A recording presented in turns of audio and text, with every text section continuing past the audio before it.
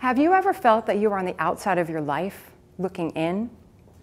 Well, if you had been with me that day in July 1977, you would have seen me in the utility room in our house in Colleyville. It's a very small town in Texas. I am six years old, pretty skinny with a bad haircut, and I'm with my mom as she is giving me a bath in that utility sink. I just had my tonsils out, and she's asking me a question except something isn't right. I can't answer her. Inside my head, I'm saying everything that I want to say. In fact, I'm like screaming to try to get the words out, but I can't. You see, when the doctors were doing the operation to remove my tonsils, they had clipped the bottom of my tongue, and it made it very awkward to speak. So awkward, in fact, that I developed a stutter.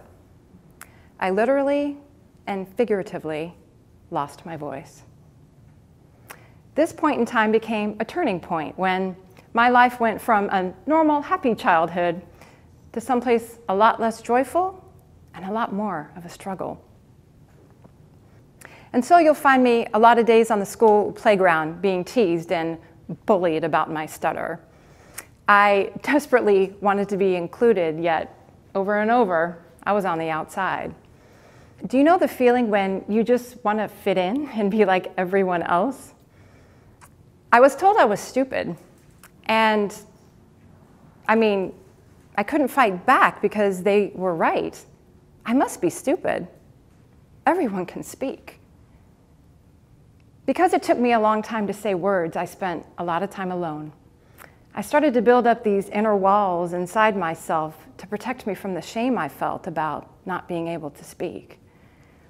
However, when I got to college, I found that I could start to speak again. I would still trip over words, as I sometimes do even now, but I was teaching myself how to talk again. However, I still had no voice. I had built such strong inner walls to protect myself from hurt that I allowed no one in.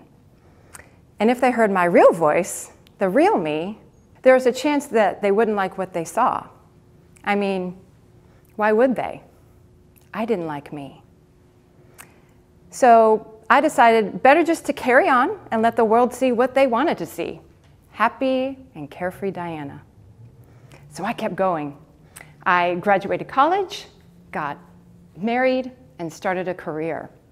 I developed this drive to make it. And that's where you'll find me today, 15 years later, in 2008. I've made it. I have a great career as a realtor. I have two beautiful children, Ethan and Nolan. I have a good husband. And this, this is my million dollar home in Portland with its big kitchen and fantastic front porch where I can watch the sunset. And that's where I am now, sitting on that front porch with my dear friend Nina having some tea. Now, Nina is a lovely woman with the kindest brown eyes. And I re remember her asking me, Dianna, what's wrong? You don't seem yourself today. I don't know, Nina, I guess I'm just a bit tired, I think. And she answered me, Well, Di, you have been traveling a lot recently. And then you planned that big dinner party last night, and today the house looks like no one has even been in it. It's immaculate. I don't know how you can be so organized. You must be exhausted. I was exhausted. Trying to be perfect, it's exhausting.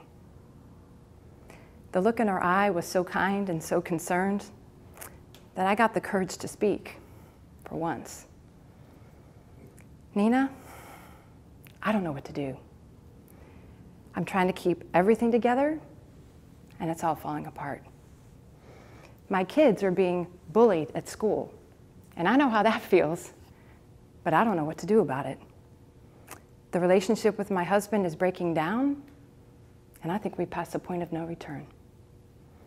The doctor says there's something wrong with my thyroid, and that's why I'm exhausted all the time, even when I get loads of sleep. And you know what? I'm really done being a realtor. In fact, I'm kind of feeling sick to my stomach just knowing I have to go into the office tomorrow and do another week of this. I feel like everything is so out of control. Has there ever been a time in your life when you wanted it to just all go away? I knew the answer wasn't out there. I knew the answer was in here. That wall that I had built up my entire lifetime was starting to break apart piece by piece. And as much as I wanted to hold it all together, I just couldn't anymore. So I turned to the only thing that had ever really helped me. I learned about meditation in college, and I did that every day. But now, oh, now I really meditated hours at a time. Some days I only did that and take care of my kids. I went to an Ayurvedic healer and I studied. Oh, yeah, I studied. I studied everything I could about personal development and spirituality. I took many courses and retreats with a lot of different teachers. I needed a lot of help. Eventually, I started to find myself.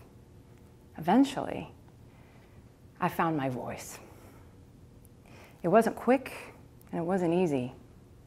There was a lot to unravel. It almost felt like I was peeling back the layer of an onion, one layer at a time. Everything made me cry. My kids made me cry, but that's probably pretty normal, right? Sunsets made me cry, puppies made me cry.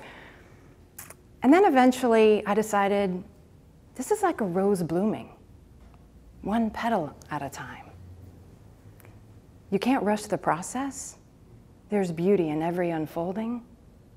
And in the end, you have this incredible, unique expression of you. And so now you'll find me, April 2015, sitting in a tea shop with Nina catching up. The million dollar house and the husband are gone. And I'm at peace with the path I've had to walk. And Nina says to me, Dianna, it is so wonderful to see you so genuinely happy now. I can't believe it's been seven years since that day on your front porch after that party when you seemed so lost. I feel this calmness and inner peace in you. I wish I had that. You know, I have some challenges myself, like with work and trying to juggle everything at home. What did you do? What can I do? You know, it took me a lot of years to break all this down. I don't want it to take you that long. I want you to be able to move through your perceived walls so much more quickly than I ever did. Even now, I still do the processes I learned when I have challenges. No matter where you are in your life right now, whether you feel it's on the upward trajectory, or you just lost that huge account, or you just received a devastating diagnosis. No matter if you think it's your mistake or someone else's to bear, you can move forward. You can overcome. It's not about having life all go your way. It's about what you do with what life presents to you.